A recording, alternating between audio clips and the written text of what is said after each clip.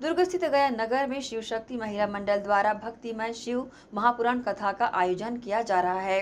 कथा में पंडित पूरन प्रसाद शर्मा अपने शिवमुख से कथा का सार श्रद्धालुओं को श्रवण कराएँगे। कथा के पहले दिन भव्य कलश यात्रा निकाली गई। दुर्ग स्थित गया नगर में शिव शक्ति महिला मंडल के तत्वावधान में भव्य शिव महापुराण कथा का आयोजन किया जा रहा है। शिव महापुराण कथा में पंडित पूरन प्रसाद शर्मा अपने शिवमुख से कथा का सार श्रद्धालुओं को श्रवण कराएँगे।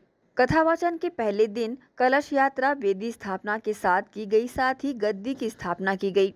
इस कार्यक्रम में आसपास के लोगों ने बढ़ चढ़कर हिस्सा लिया।